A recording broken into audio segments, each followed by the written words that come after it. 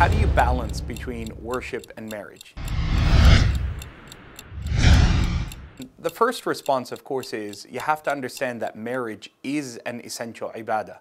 One of the greatest things that you can do as a husband or as a wife is to adore and to love and to cherish the person who you're sharing, inshallah, the rest of your life with, who becomes a cornerstone for the community that you live in.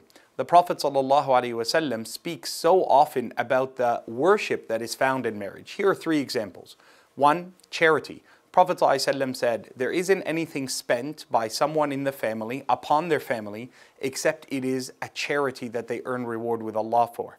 Allah, the Prophet ﷺ said, Inna abruka sadaqa infaqul mar'i ala ahli. Of the charities that have the greatest reward is to spend on one's family. Number two is to assist one another in times of need and perseverance. And the Prophet ﷺ, he said, that a person is always in the obedience of Allah subhanahu wa ta'ala as long as they are in the assistance of other people. And Allah therefore then becomes their assistant in life.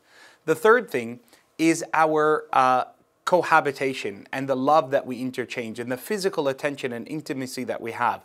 Just like our sins would be earned by stepping outside marriage, there's an enormous reward for showing love, fidelity, and contentment with one another. Those are all acts of worship. And how great it is to lead your family in salah and siyam and zakah and hajj. May Allah subhanahu wa ta'ala make our pillars of the community and remember the dua of the Quran.